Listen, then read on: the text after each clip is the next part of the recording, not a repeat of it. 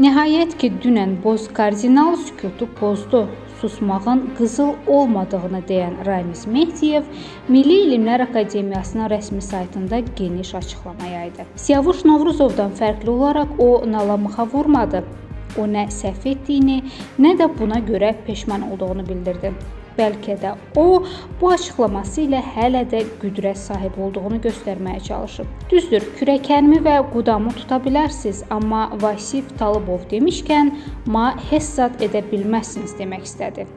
Düzünü desəm, alındı da.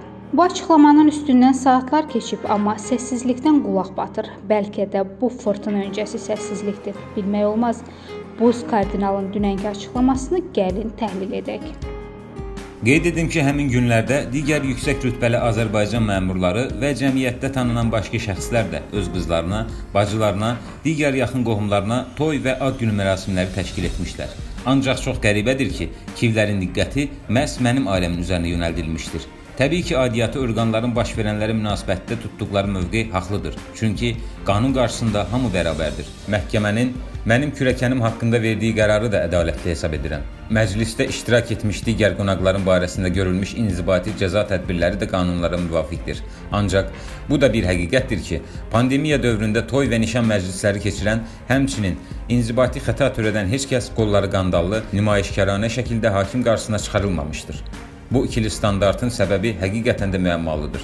İnanmaq istəyirəm ki, ölkəmizin hüquq mühafizə orqanları, kivlər, millət vəkilləri və ictimai xadimlər bu barədə baş verən analoji hadisələrə də eyni həssaslıq və prinsipiallıqla yanaşacaq, müqəssirlərin hamısını qolları qandallı şəkildə məhkəmə önünə çıxarıb, onlara qanunun aliliyi haqqında dəyərli tövsiyələr verəcəklər. Belə olan təqdirdə sadə vətəndaşların ölkədə hüququn gücünə dair sual və şübhələri tamamilə aradan qalxmış olacaq.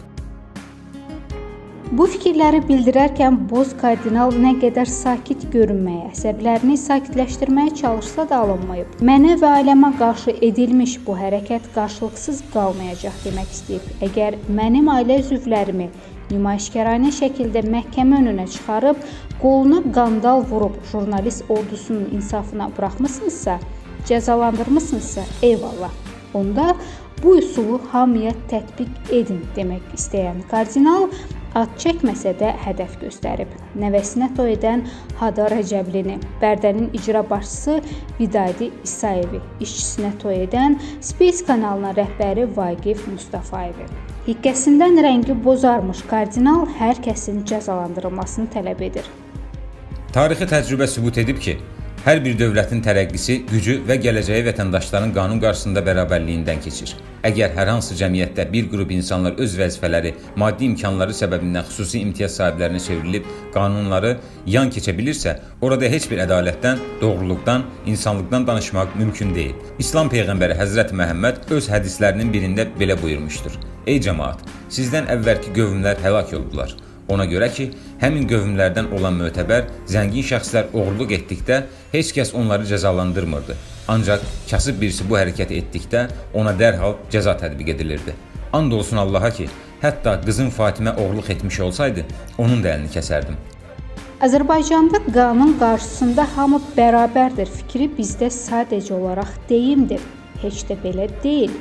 Elə siz məmurlar vəzifənizin yaratdığı imtiyazlardan istifadə edib qanunları pozub heç etmisiniz. İnsanların içindəki inamı öldürmüsüz. Danışdığınız hədislə nə demək istəmisinizsə də anlaya bilmədim. Axı hədisin zərrə qədəri də heç hədisin hısı da sizə aid deyil. İllərdir ölkəni çapıb dalayan elə siz özünüzsüz axı. Kim necə cəza versin ki sizə?